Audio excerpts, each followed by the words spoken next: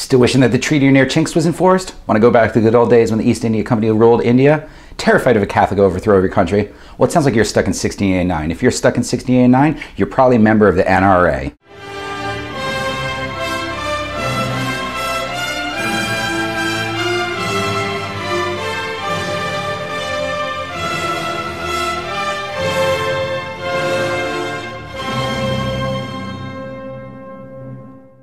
Hey there, my name's Austin. Welcome to Douchebag America. In this series, we're going to highlight all the douches, petards, a-holes, F-flippers, m-ditties that have made America great. And tonight's first douchebag is the NRA. So the NRA, the National Rifle Association, was founded in 1870. No, no, you know what? No, we got to go back further. In 1685, James II was crowned King of England. As a practicing Catholic, the ruling class of England were skeptical of his ascendancy, but without a male heir and eager to stabilize the country after the tumultuous 17th century, the Protestants' worries were brushed aside. As Catholics were increasingly promoted to government and military posts, concerns grew until they came to a head when James issued a male heir and baptized him Catholic. This led to an invitation to William of Orange, leader of the Protestant Netherlands, and his wife Mary, James's daughter, to reclaim the throne under Protestant leadership. So what this guy do with AR-15s?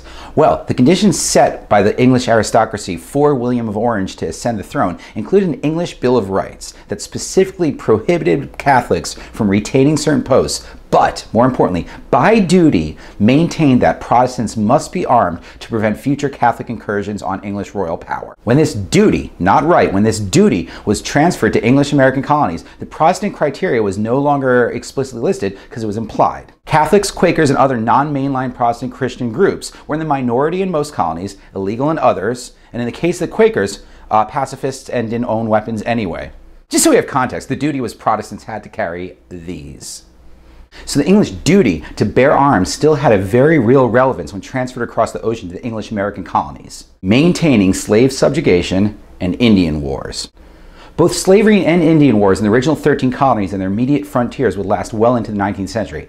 That, coupled with James' subsequent rebellions against the crown itself, laid the groundwork for the laws that would later become the afterthought of the Second Amendment. But one point must remain salient in this duty's historical usage and thus its original intent. In every case, whether Protestant against Catholic invasion, white settler against Indian native, slave holder against uppity Negro, or petulant American against British hegemony, the duty, then right, was maintained as a device to unify the body politic against an outsider, against an other. And as each other non-white Protestant was either defeated or dwindled in relevance or threat to society, this duty, then right, fell to the wayside. Furthermore, those engaged in the defense against the other were typically the extra-urban residents of the ever-expanding frontiers. Contrary to popular culture's depiction, gun ownership in the Wild Wild West was not universally observed. In fact, you know the shootout at the OK Corral? Why'd that happen? Because a bunch of guys came into town carrying guns that they were not allowed to have. That's right, the Wild West was so rootin' tootin' shootin' falutin'. No, no, it wasn't.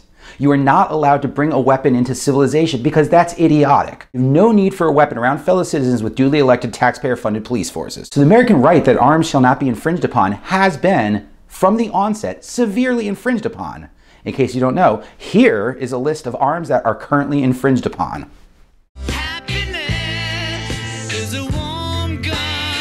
So until the industrialization of the late 19th century, the vast majority of Americans were unschooled and unarmed in firearms. Which brings us to the NRA.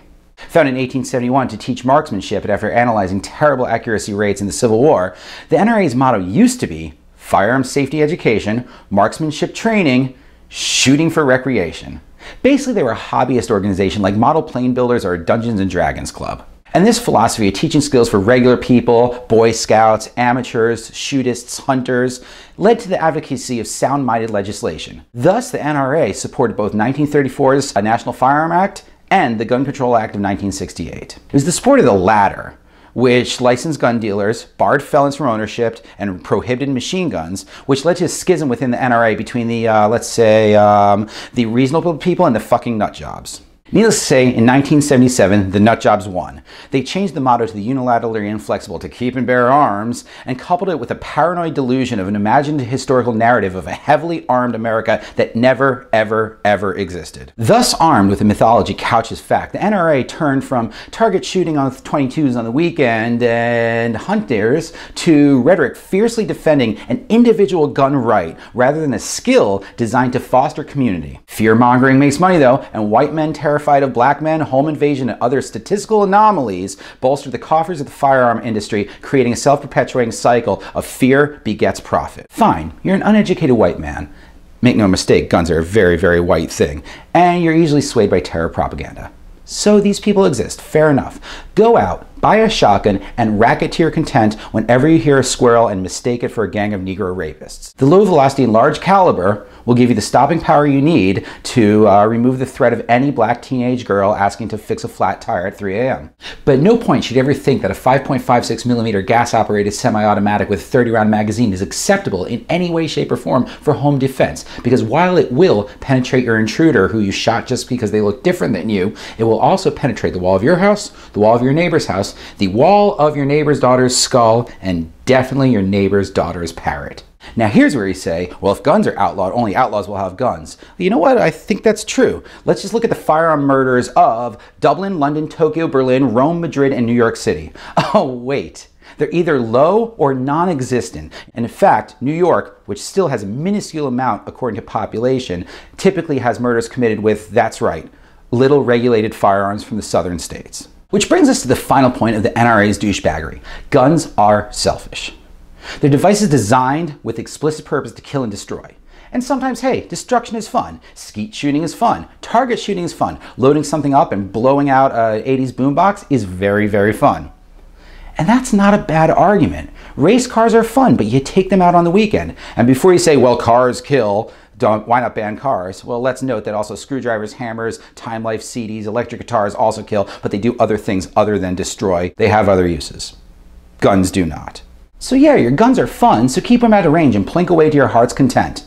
If the NRA's motto were, dude, guns are cool, I'd buy that much rather than the erroneous supposition that this is an ancient American right and you can pry it from my meaty sausage like fingers. Because not even an ancient American right. It's not even an American right.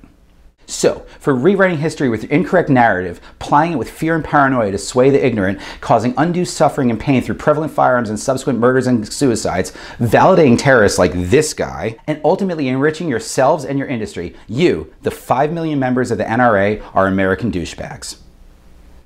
Hey, so that's it. Thanks for watching. Um, share this or subscribe. I don't know where I'm putting the subscribe button, but whatever, subscribe.